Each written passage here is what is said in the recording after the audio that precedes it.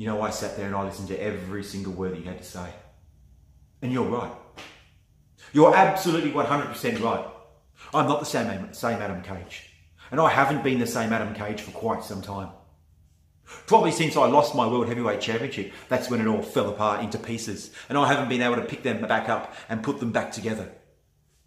See, I had a fire and a passion inside of me when I was World Heavyweight Champion. And that fire and passion has died long ago.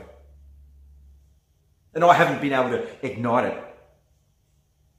I haven't been able to restart that fire inside of myself. And I don't know how. And maybe that's why I took off. Maybe that's why I left. Because I just burnt out. You see, going out there and trying to find scenery after scenery after scenery, just to impress people here in IW and the fans, is hard work.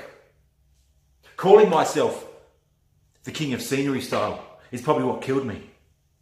Because instead of going out there and finding great scenery, maybe I should have been concentrating on the things that I was saying in front of the camera, not the things that were behind me. You see, that's what makes you so great, Ethan. Is that you can grab a chair, you can sit there and you can talk, and everybody will hang off your every word. Captivate the whole entire world with the things that you say. You don't have to worry about green screens. You don't have to worry about standing in front of a garage door with great lighting. You don't have to worry about special effects and themes and music and opening intros. that go on for 30, 40 a minute. See, people spend so much time, I was spending so much time trying to come up with these great intros to impress people instead of worrying about the actual things that I was saying.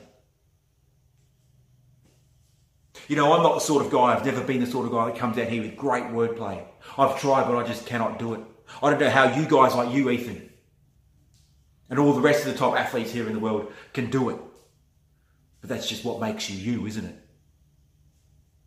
So maybe I relied on the special special effects. Maybe I relied on being the king of scenery style, the going out there and finding great scenery, standing by the beach, just to make myself look better to cover over the fact that the things I was saying was actual bullshit. Maybe I need to have a good hard look inside myself and realise that that stuff just doesn't need to be done. I'm wasting my time. I wasted my time going out there and being the king of scenery style. What the fucking hell is that anyway? You know, I've always said to myself that facing top athletes, the best in the world, is only going to make me better, is going to push me to improve myself. Because putting yourself in situations that you're unfamiliar with, that make you nervous, make you scared, can only make you grow.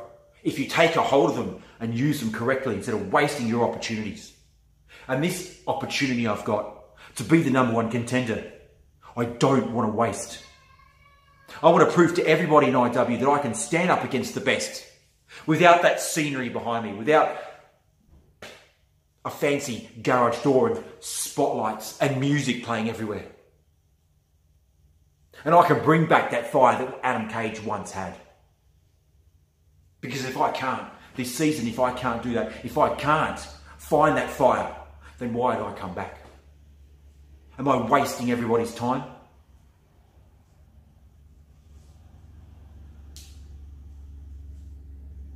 I don't know.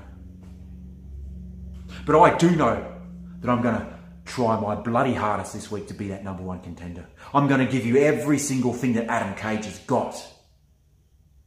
The fire, the rage, everything. And I will try and bring back that Adam Cage of old. If it's the last thing that I do. Ethan Carnage, I look forward to listening to absolutely everything that you say. Actually learning something from you. So let's do this.